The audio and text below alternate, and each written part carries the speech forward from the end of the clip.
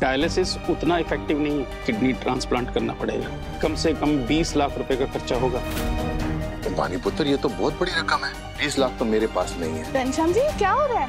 ताला क्यों लगा हुआ है? लवन्या मैडम अमेरिका चले गई है। मैडम में मेरी आखिरी उम्मीद थी। कैसे होगा मन्नत का तो इलाज।